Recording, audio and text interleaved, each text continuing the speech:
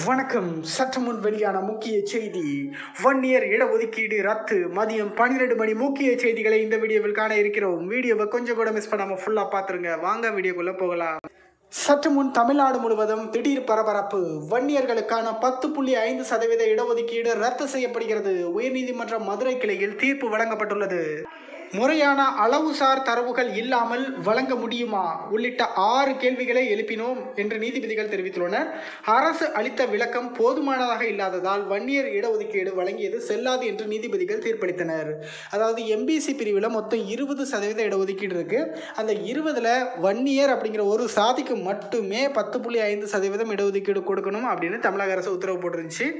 So சரியான சாதி வாரி கணக்கெடுப்பு எடுக்கலை. ஸோ இந்த மாதிரி பல்வேறு காரணங்களை ஒட்டி நீதிபதிகள் வந்து இது செல்லாதுன்னு சொல்லியிருக்காங்க.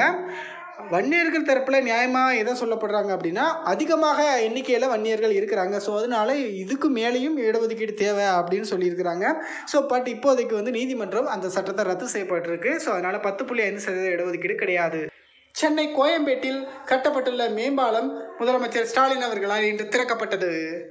ஒன்று முதல் எட்டாம் வகுப்புகளுக்கு பள்ளிகள் திறப்பு களை கட்டிய வரவேற்பு நூற்றி எட்டு தேங்காக்கள் உடைத்து தலைமை ஆசிரியர் மாணவர்களை வரவேற்றார் பல பள்ளிகளில்.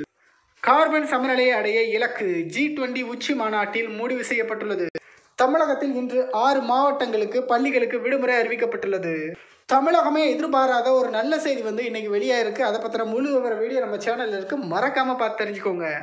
இத்துடன் மதியம் பன்னிரெண்டு மணி செய்திகள் நிறைவடைகிறது. செய்திகளை உடனுக்குடன் தெரிந்து கொள்ள தமிழ் கிழவியோடு இணைந்திடுங்கள் நன்றி. வணக்கம்.